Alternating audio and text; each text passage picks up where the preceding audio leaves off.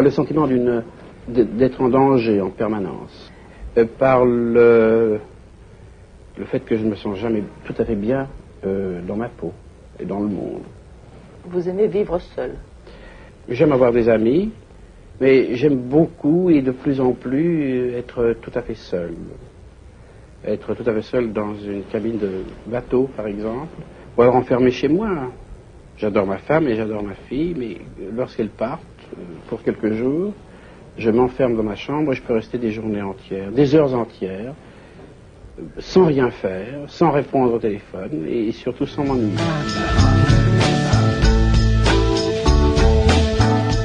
Bienvenidos amigos a Radio Uruguay 1050M, bienvenidos a la máquina de pensar, ¿cómo están? ¿Cómo les va?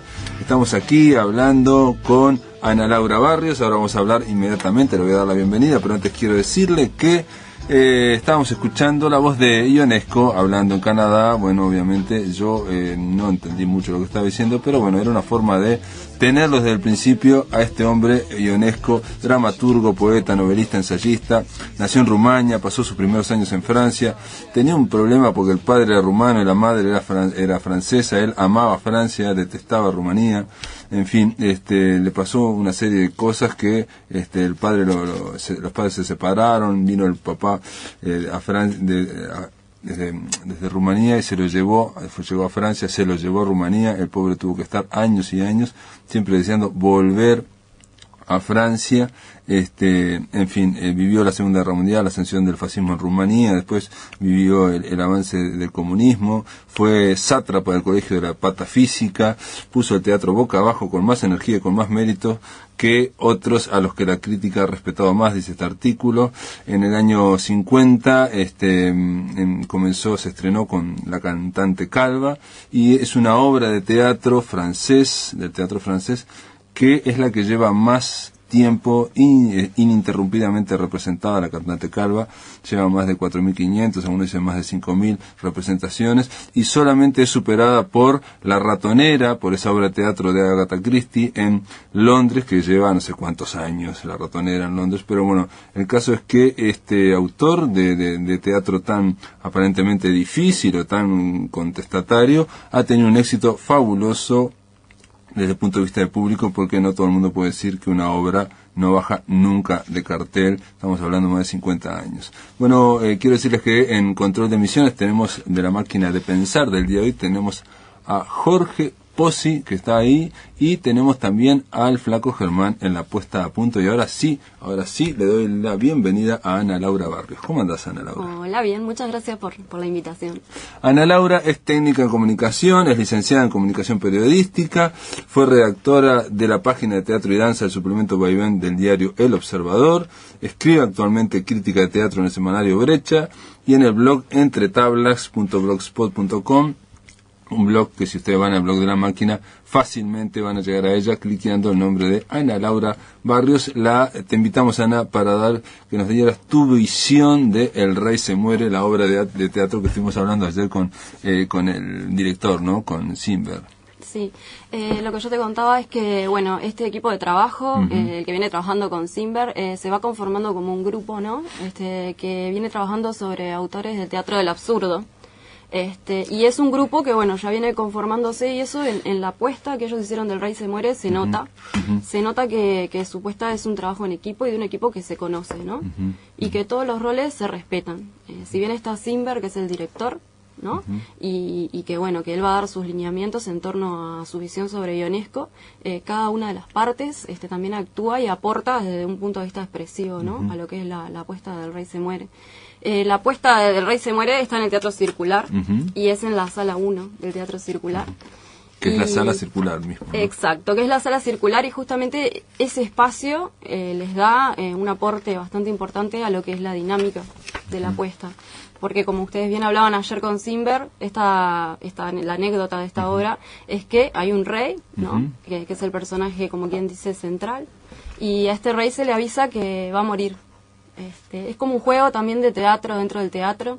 Eh, se le avisa que va a morir este, y dentro de los personajes que lo rodean está su ex mujer, que es la reina Margarita. Está la reina María, que es su mujer actual. Y es la reina Margarita la que le avisa que él va a morir y que va a morir dentro de una hora y media. Incluso eh, lo que dice es que vas a morir antes de que acabe la función.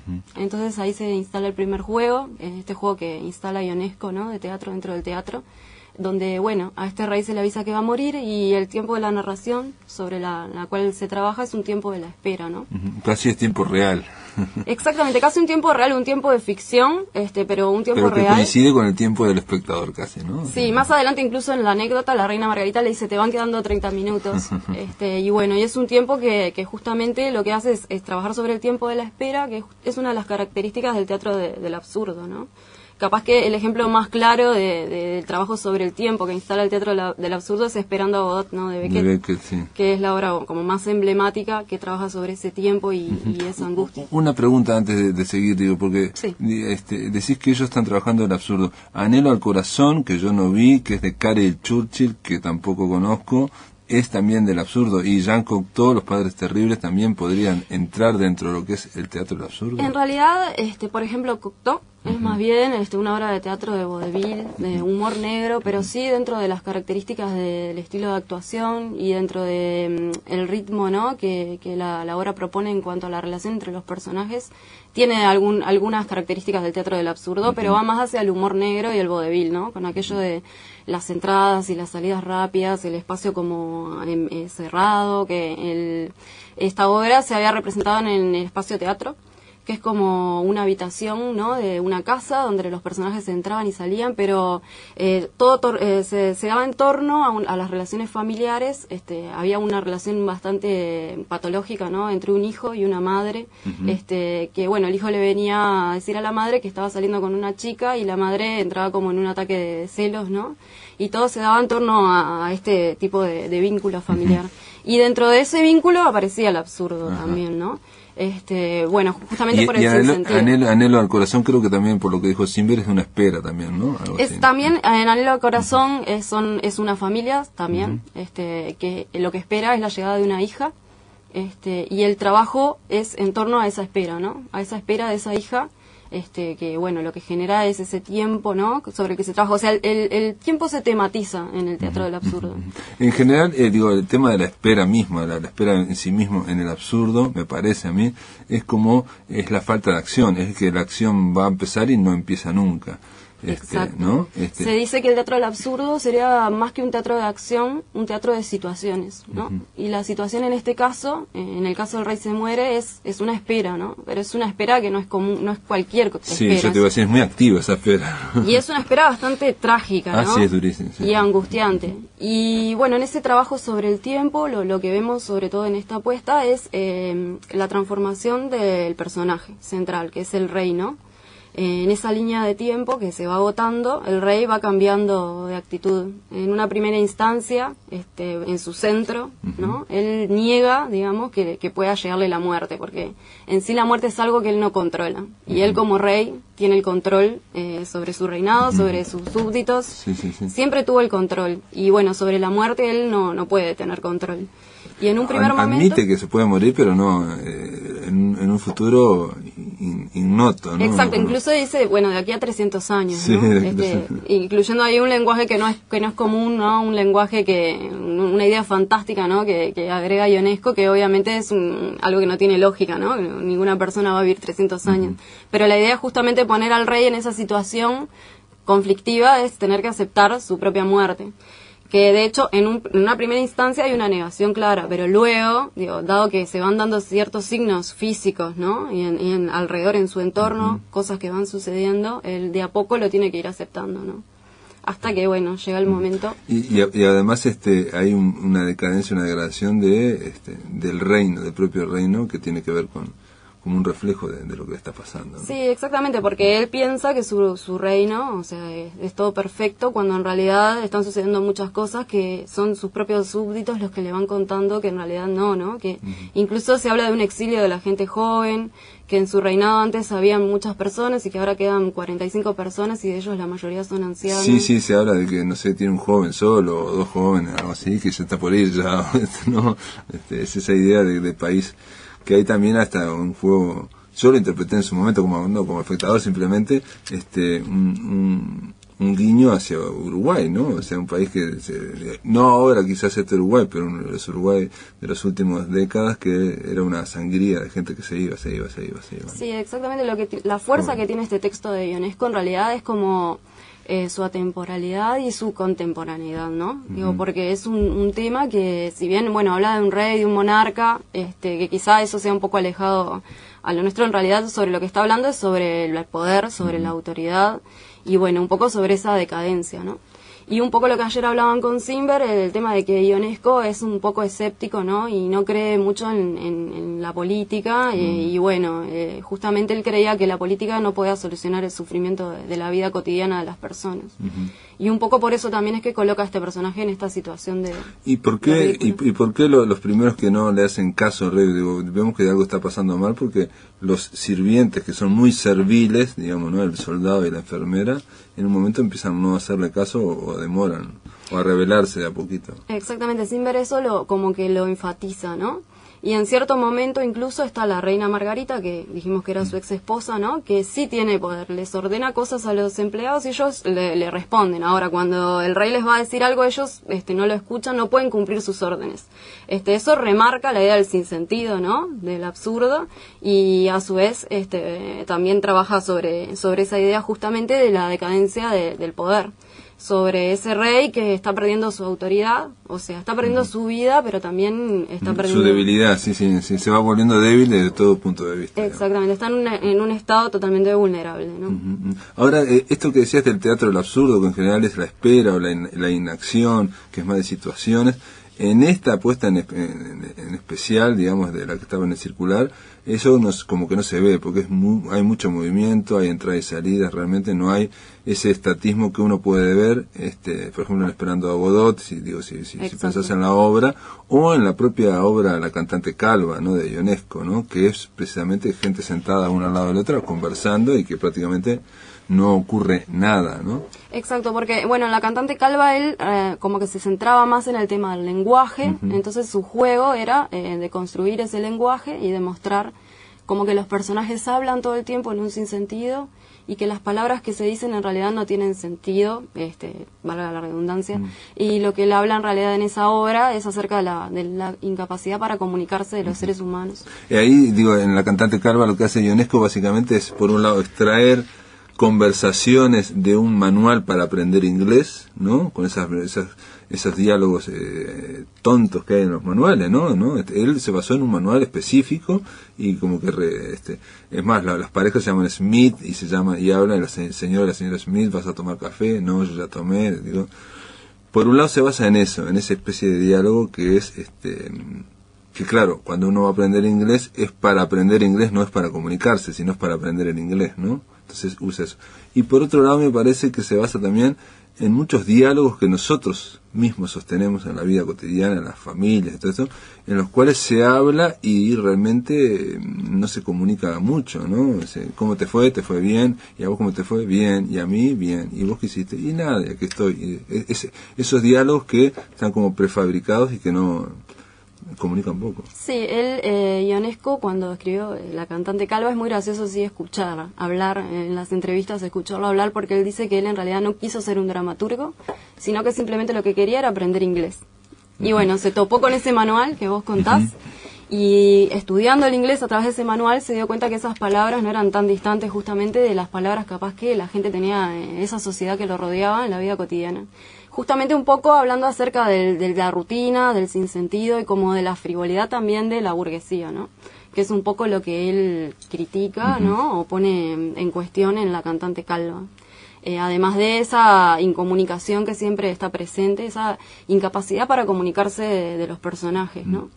Es lo que él trabaja. Y, ahí en el sentido de, de, digamos, la- cuando critica la burguesía, eh, digamos, son dos matrimonios, en el caso de la cantante Calva y en el caso este, en que no eh, parecen tener proyecto, nada más que estar sentados ahí y bueno, y, y, le hablan- y hablarle a los sirvientes, en este caso una, una, una doméstica y un, y un bombero que aparece ahí, este, pero que básicamente no tienen proyecto. Exactamente, como que no tienen ideales, ¿no? No tienen ideas a futuro, como que su vida es la cotidianidad de la rutina, de la repetición, y justamente lo que él quiere demostrar ahí es esa vida vacía, es sí, ¿no? Que también es otra de las características del teatro del absurdo, ¿no? Eh, un poco la característica de hablar sobre la condición humana, ¿no? Y del vacío, la incomunicación, porque no nos olvidemos que este teatro surge en posguerra, ¿no? Luego de la Segunda Guerra Mundial. Eso generó obviamente una decepción en la propia condición humana este, es un poco lo que estos autores este, se cuestionan. ¿no? La idea de que después de la bomba atómica o después del holocausto, del genocidio, de Auschwitz, este, como que este, la existencia humana eh, parece no tener sentido, digamos, ¿no? Y entonces ahí se junta, digamos, lo absurdo, pero lo, lo gracioso con lo grotesco, ¿no? Con, que es lo, lo, más complejo y lo más rico del teatro del absurdo, ¿no? En realidad, por ejemplo, cuando nosotros vamos y vemos la, la apuesta del rey se muere, nos reímos mm, constantemente, ¿no? En varias de las situaciones, pero lo que estamos viendo es algo muy triste, es una tragedia. Y bueno, justamente lo difícil es comunicar eh, algo que realmente tiene un mensaje, ¿no? O que quiere decirnos algo más allá de la simplicidad del hecho de que alguien va a morir este, a través de la risa, cuando en realidad estamos tratando de transmitir algo que es trágico. Terrible. Eh, yo me acordaba viendo, digo, precisamente por la reacción que, tiene el público, ¿viste? Cuando, cuando estás viendo El Rey se muere y, se ríe, de Samuel Beckett en, en, la obra final de partida, uno de ellos dice, y nos dice incluso dos veces, dice, eh, lo más cómico del mundo es la, la desgracia humana. Entonces, este, y lo ejemplifica, ¿no? O sea, varias veces, o sea, y, de hecho se ríe. Y ahí me di cuenta, digo, viendo, digamos, al fin de, fin de partida, que, o final de partida, que, que es, es eh, un mecanismo del humor, digo, ¿no? O sea, Chaplin que resbala y pisa una banana y se pega y, este, y nos largamos la risa, ¿no? O Buster Keaton, que le pasan cosas terribles y ahí uno larga la risa, o sea, cuando ve a alguien que está, este, pasándolo muy mal. Sí, y estos autores, ve que Dionesco, están influenciados por esos este, cineastas que vos mencionaste. Y, y, claro, es, es, es, muy difícil, ¿no? O sea, tomar como, como la tragedia. Ellos en realidad son rupturistas. Lo que querían era romper con las formas anteriores. Entonces ellos rompen con el realismo y el naturalismo, que era lo que se venía dando hasta el momento, y este, plantean esta, esta forma de expresión que se le va a llamar teatro del absurdo, aunque ellos no estaban muy de acuerdo con, esa designación, porque pensaban que era una palabra que no los definía. Una etiqueta aparte para... Una etiqueta que, que, justamente a, Ionesco cuando se le preguntaba, él decía, ¿soy absurdo? ¿Qué absurdo? Decía él, ¿no? Como este, riéndose justamente de, la propia etiqueta. Este, pero sí, este, lo complejo yo creo que el rey se muere es que en esa espera angustiante uno pasa, ¿no? Este, todo el tiempo, casi todo el tiempo de la obra, eh, en ese humor, este, en esa risa, ¿no? y viendo sufrir al rey, digamos, en este caso, ¿no? Viendo sufrir, psíquicamente al rey, ¿no? Psíquica y físicamente, ¿no? Y esa degradación que es lenta, pero que se va instalando. Este, que bueno, que llegado al final de ahora hay un quiebre bastante importante en el tono, ¿no? Sí, sí, se vos lo remarcás en tu nota en brecha, de este, ese monólogo al final que, que asimila, digamos, este tema de la muerte al sueño, ¿no? Es bastante fuerte ese monólogo que, lleva la, reina Margarita adelante, que como decía ayer Simber, este, como que una de las reinas representaba la vida y la otra la muerte. Y bueno, justamente Margarita la que representa la muerte, la que la acompaña en ese momento. Y bueno, todo ese, ese espacio tan jocoso que habíamos visto hasta el momento, ¿no? Tan luminoso y tan colorido, se desaparece este, con la iluminación de Martín Blanchet que él logra que en una esquina del escenario, porque ahora no está en el centro, el rey está en una esquina, bien iluminado, una luz que es fuerte este, y, que está en, una, en, su decadencia total, eh, es acompañado por, por la reina Margarita en ese monólogo final que de a poco va instalando ahí sí el ritmo más pasamos de lo que era vertiginoso a lo lento del momento que se va a dar que es lo que el título de la obra nos dice no que bueno el rey se muere digo es tan simple como es bueno, muy bien, Ana Laura Barrios, muy bien, muchas gracias por estar aquí en La Máquina de Pensar. Gracias por invitarme. En el aire de Radio Uruguay, La Máquina de Pensar. Ahora quiero darles la bienvenida a Ecaterina Clara Delgado. ¿Cómo le va? Buenas noches. ¿Te gusta que te digan Ecaterina mismo? Ecaterina. Ecaterina. Ecaterina. Y al amigo eh, Bachi, al amigo Bachi, le vamos a dar la bienvenida también este, en cualquier momento. Pero Catalina, yo quiero decirte algo, una pregunta antes. La idea de, mm, de invitarlos era por boliches en agosto. Y vos me estás diciendo fuera de micrófonos que, bueno, que no te consideras poeta. todavía. Sí, poeta es como una palabra bastante grande y mm, si bien hace varios años que estoy escribiendo poesía, creo que falta mucho, falta mucho por aprender, falta mucho por escribir, como para decir poeta. Sí, digamos que trato de expresarme. Borronea unas páginas. Sí, Algo así. gasto tinta. trato de expresarme por, por esos lados. Pero también escribís teatro, eh, Caterina. Sí, eh, este año terminé de escribir mi primera obra de teatro conceptual. eh, y sí, y ya empecé con el, Teatro, y teatro con conceptual. ¿Qué, es, ¿Qué vendría a ser el teatro conceptual, digamos, breve y cortito? Breve y cortito, eh, mi teatro conceptual Sí. viene siendo una aproximación eh, a un mensaje que puede ser teórico o, o político, desde el cual me aproximo con mi dramaturgia. Es un concepto, mis personajes son conceptos y discurren desde ahí su- sus características, sus personalidades, sus gestos, las imágenes de, de la dramaturgia está basada en, en los conceptos, en cómo esos conceptos nos condicionan, nos definen. Particularmente esta, la última la última obra que escribí, la que estoy escribiendo, se basa en eso.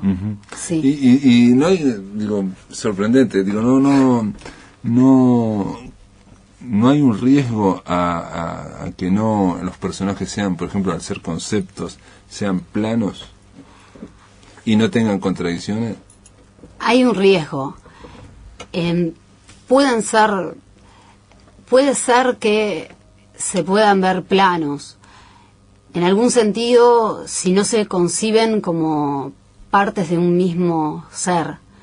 Creo que cuando me pongo a escribir, por lo menos esta última obra que escribí, los personajes giran en torno a un personaje principal, son conceptos, pero son partes de ese personaje principal, son Ah, partes de su pensamiento. Son aspectos de ese. Son, as- entonces, son aspectos que lo definen, lo restringen y lo dividen. Son partes de, sí, son, par- son partes del protagonista. Mm. De alguna manera son pensamientos o voces de ese protagonista, formas de su racionalidad. O sea que la complejidad vendría dada no, no por cada uno de los personajes, sino por el Por la totalidad. por la totalidad, digamos. Por la totalidad, sí. Sí, va un poco por ahí. Sí, es como pensar, bueno, cuán, cuán complejo sería tratar de expresar un razonamiento. Cuán, cuán complejo sería tratar de, expresar cómo nos funciona el pensamiento. Y entonces eso, eso digamos, de alguna forma se emparenta con el teatro del absurdo que te, que te gusta tanto, porque en el sentido de la dificultad para, que es lo que está poniendo siempre el teatro del absurdo, o en este, en este caso Ionesco, o en el de Beckett, este, para comunicar. Sí, sí, bueno, Ionesco es una de... Con el teatro del absurdo, con... Bueno, me gusta bastante Artaud, también Cantor, con el teatro de la crueldad, Kane también es una influencia. Pero sobre todo, tengo un lenguaje muy met- metateatral, que de ahí, sí, Pirandello es, o- es otra de las influencias siempre hay un sujeto omitido, siempre hay un, un móvil omitido. Es, es difícil que en las primeras escenas se entienda de qué se está hablando. Después sí se va a entender. Después que, se, que empiecen a interrelacionarse, a profundizarse. Y sí, eh, es un metateatro bastante absurdo y bastante cruel, porque lo que expone el absurdo es cierta crueldad. de-. Sí, sí, sí, estábamos comentando antes de que, de que entraran en el bloque anterior, este, que Beckett dice en final de partida, que es una de las obras más, que más me gustó, dice este, una frase que la, la, recalca una y otra vez, que lo más cómico en el mundo es la, es la desgracia humana. Entonces lo va re- no solamente lo va diciendo, sino que lo va demostrando. Y de hecho eh, te hace reír, o sea, uno larga la risa cuando está pasando algo eh, terrible, ¿no? Este, pero bueno, es, es, Chaplin pisando, pisando una cajara banana y que uno se ríe o que cayéndose en una escalera así y, bueno, y que uno larga la risa, ¿no? O sea, no se descubre la, la crueldad. Eh, Enrique Bachi es el que está diciendo sí, sí y, que tiene que ver con, con esto. A ver, súmase al fogón. Enrique es eh, nacido en Paso de los Toros, ha publicado La Flor Difícil, mm, Isabelas, en narrativa La Sed de los Toros. Sí, por ahí. Y Midland, ¿no? Midland, alguna otra cosa. Temprana Bocanada, Valquirio Maquinista. Eh. Sí, este, sí, ya eh, estamos cerca de la decena. si es que eso sirve de algo. Este... ¿Qué pensás de esto que estamos escuchando, que estamos hablando? no, está bueno. Yo me quedé pensando en Pirandello y, y cómo, cómo se vincula este el arte, ¿no? Cómo, cómo todo es una gran intentó de manifestarse y de revisar las manifestaciones anteriores. En aquella obra seis personajes en busca de autor, este, y bueno, cuánto de poético tiene esa, esa, esa, intentona, eh, sobre todo cuando uno revisa eh, la intención primaria del, ser creativo desde lo sensible. Eh, y cómo este, comienzan ahí a, diferenciarse los discursos eh, que, apuntan con cierta solidez a, una idea, a explayarse, eh, y comienzan a cuestionar eh, el discurso mismo, ¿no? el hecho mismo, sea en el, ámbito teatral, y bueno, fundamentalmente en lo que a mí me compete en la poesía, creo que en, esta, en, esta, en este comienzo del siglo es la experiencia más interesante por lo menos es lo que a mí me... A, ver, a ver, Enrique, eh, digo, para, aclararlo un poco, vos decís que, eh, digamos, el, poeta o, la voz poética empieza a cuestionar, empieza a, digamos, a, expresarse y después empieza a cuestionar el propio medio de expresión. Exactamente, sí, sí, sí. Sí, como que la, brecha eh, entre lengua y lenguaje comienzan a, a, ramificarse cada vez más y, y bueno, se podría decir que, que, cada vez más están los afiliados a, a, la lengua, al poeta que quiere decir algo sin más intención que esa, y también los que están eh, revisando la propuesta misma, ¿no? desde lo, lo, esencial que es el lenguaje, las formas, y, las formas y, los contenidos también como una, una alternativa este, que excluye esas otras dos, tanto la, la de la lengua como la del lenguaje esa poesía que, que aparentemente tiene un tema, pero que no es solamente el tema, también es eh, o importa desde lo que está proponiendo como, como, como juego de palabras. Eh, sería como el tema y cómo lo dice. El tema, contenido y la forma, fundamentalmente. ¿no? Eh, y le pregunto a los dos, este, esa idea de, de, cuestionar el lenguaje o de cuestionar digamos, el medio de expresión, que en este caso es la palabra, ¿no? En el teatro también, digo, es movimiento, pero también es palabra. No hay peligro de caer en una intelectualización, mire qué pregunta le estoy haciendo, ¿no? O sea, eh, lo, mismo que te preguntaba o sea, falta de carne, por decir algo, ustedes no sé si me entienden, y este y, y, y demasiada, digamos, mucha estructura, mucha eh, intelectualización en ese sentido, ¿no? Digamos, no sé si mal o no, sé. Creo que la a veces lo que se ve como una intelectualización puede expresar la deconstrucción de lo sensible. Cuando las ramas del arte se tocan, como puede ser en el teatro o como puede ser a veces en performance poéticas, ¿no? Es como muy difícil pensar que lo intelectual no tiene una parte sensible y que el disparador no es sensible. Y el proceso intelectual de deconstruirlo, de expresarlo artísticamente, de cambiarlo, de buscar al otro para distinguirlo, pensar que solo queda en, en una intelectualización puede ser una lectura pero esperemos que no, que no pase por ahí. No, no, digo, yo planteaba que puede ser un riesgo, no sé, aparte...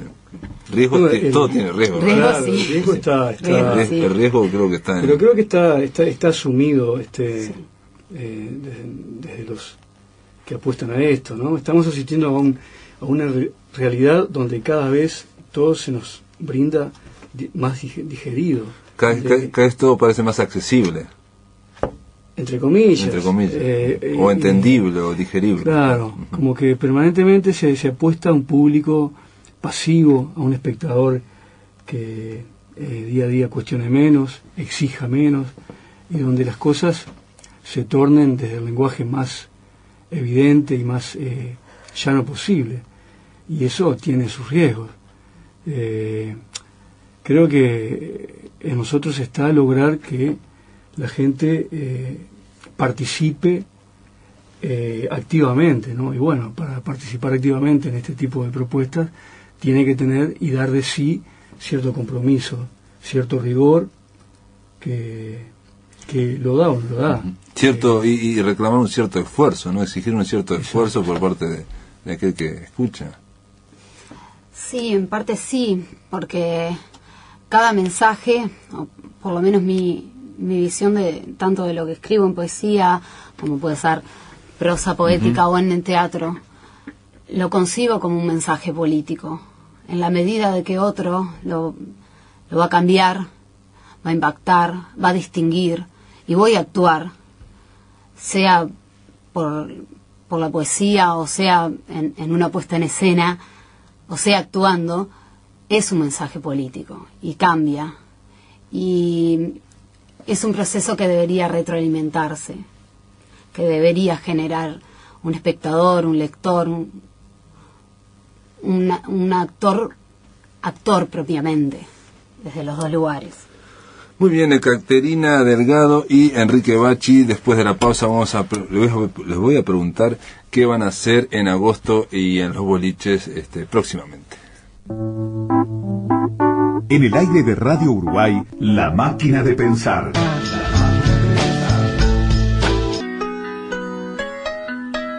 Si querés volver a escuchar charlas, entrevistas o columnas, ingresa a piensamáquina.blogspot.com y bienvenido al corazón de las palabras.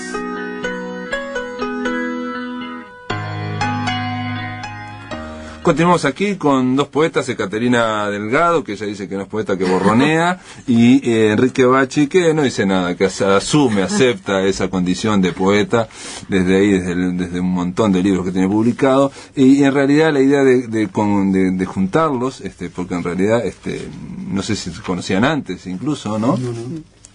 Es porque ambos han sido invitados, están seleccionados dentro de esta, digamos, actividad que se va a llevar durante todo agosto, que se llama Boliches en Agosto, que está en su cuarta edición, que organiza el MEC y que básicamente consiste en, en, en, en unir músicos y eh, escritores, poetas y narradores en una especie bueno de, de, de- de- de espectáculos en, en, en los boliches con entrada gratuita y, y que ha tenido mucho éxito no esto ha tenido mucho éxito en años anteriores. En el caso de ustedes van a estar juntos creo no ¿O no ah no van a estar separados. Van a estar en dos lados distintos. Dónde van a estar ustedes Caterina El 12 en el bar Paysandú con el, junto a Elvio Chítaro. ah exacto el otro el otro amigo el biochito y eh, Bachi va a estar Eh, Barrondó, eh, Alicia Migdal y creo que el grupo Museo Invisible. Ajá, ajá. En el caso tuyo vas a estar con dos Daltons y una dama y Leo Villar, ¿no? En el caso de Caterina. Y este y la idea es este leer y bueno, yo eh, básicamente les iba a pedir después que hacer una especie de anticipo de qué van a qué pueden encontrar los amigos que vayan al bar Rondó o que vayan al bar Paysandú este el próximo viernes 12, ¿no? Este, pero antes antes de, ir así directamente a, a los toros como dicen los españoles, ir a los poemas, este un poco para redondear lo que estábamos conversando antes, que era una charla muy, pero muy, muy, muy, muy, muy, muy sofisticada, muy sofisticada, pero no, no estaba buena, estaba buena porque eh, no, no siempre se encuentran este poetas, escritores que vengan a plantear eh, cosas tales, por ejemplo, como que este, ir en contra, digamos, del medio de expresión o cuestionar el medio de expresión. Este, se me ocurre otra, otra, otro riesgo de cuestionar en un poema el medio de expresión es este eh, que quizás quite comunicación, quite accesibilidad a un montón de gente. O sea, el poeta que quiere hablar de un tema y lo dice, o la voz poética, este, puede ser más accesible que aquella que lo dice, pero está deconstruyendo, está chocando con el idioma, con, la forma que estamos acostumbrados a leer o a usar este, las palabras. Sí, este, sí, es un problema, ¿no? El tema es que eh, si los poetas piensan en función de sus oyentes, terminamos haciendo periodismo, porque en definitiva es el, lenguaje eh, que está en la calle y al que eh, se nos ha acostumbrado de la escuela, ¿no? a no ser este, incisivos, a no tocar la parte sensible, a no revisar el, el contenido y el concepto. Y bueno, la poesía, que también la hay este, eh, con esos registros, por lo menos eh, a mí me parece que tiene que ser responsable consigo misma y desde ese lugar aportar lo que pueda y cuestionar lo que mm. entienda cuestionable, sea el lenguaje o sea la realidad misma.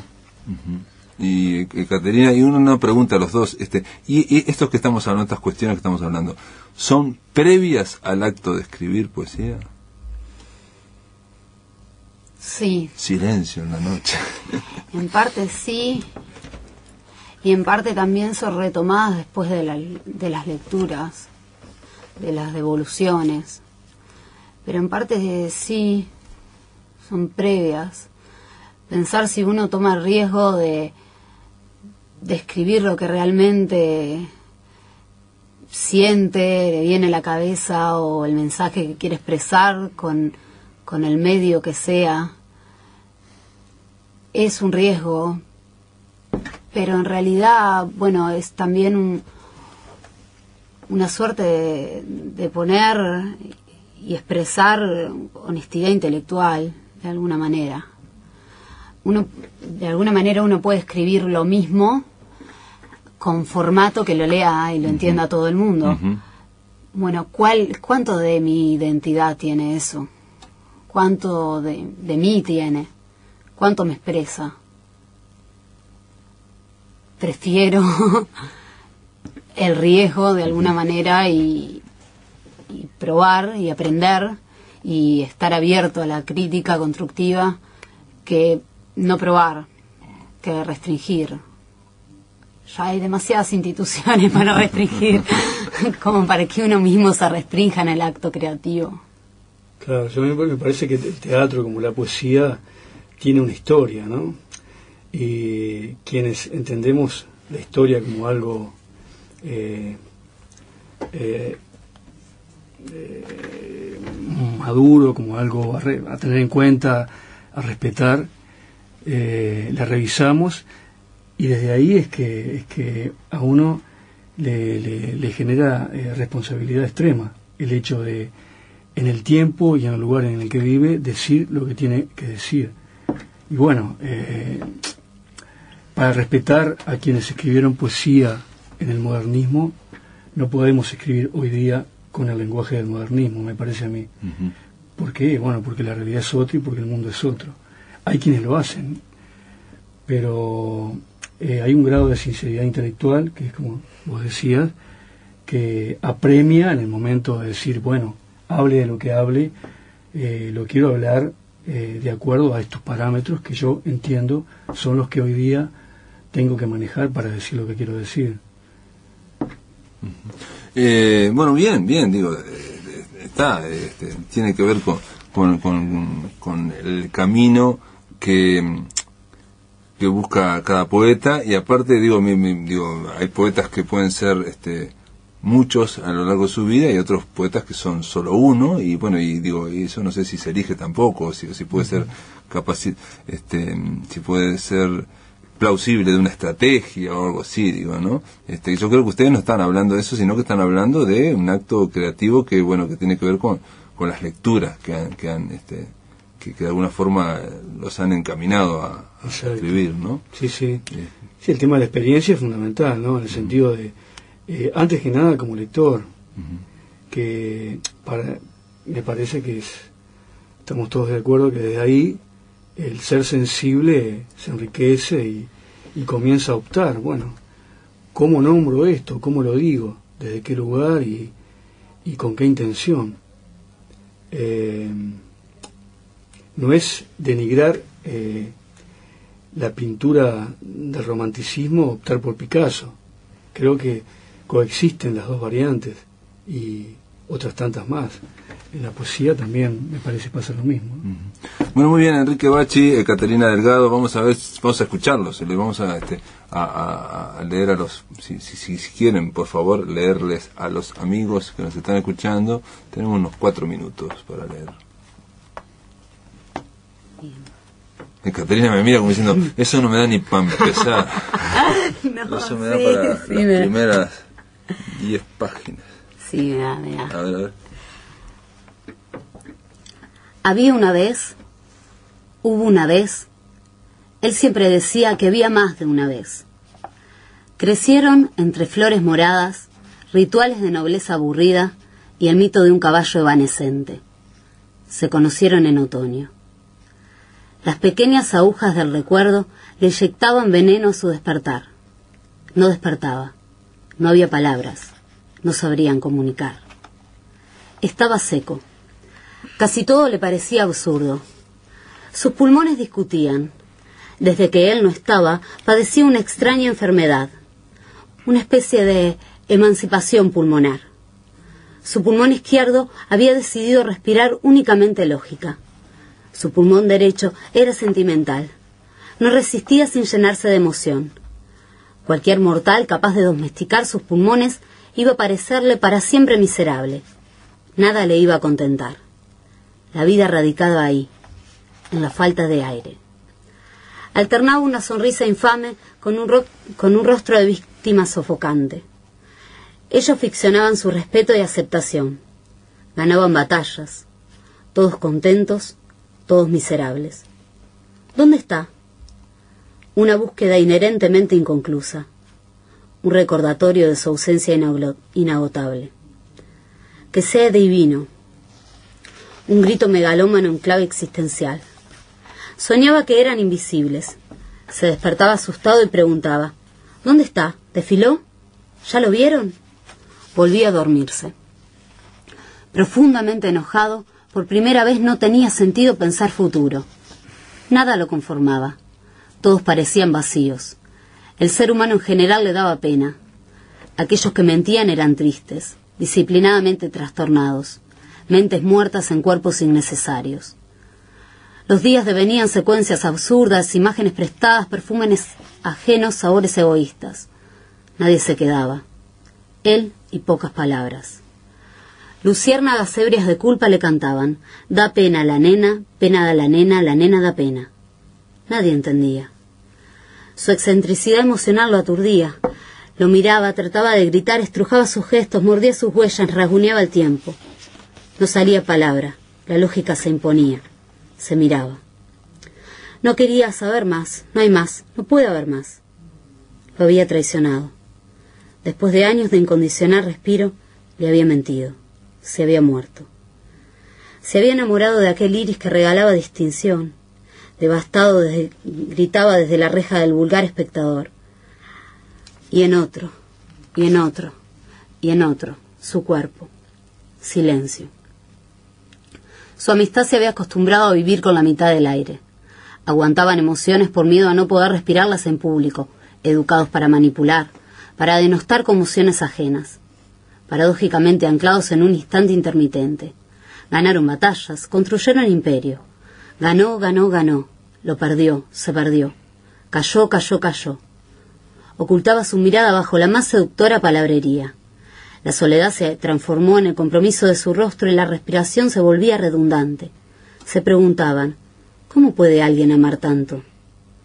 Dosificaba el aliento, gemía en sueño tratando de sentirlo, no se encontraba. Al lograrlo se aferraba tanto a ese difuso instante que lo marchitaba, anclado en un cuerpo sosegado de pena corrosiva, inerte, asfixiante,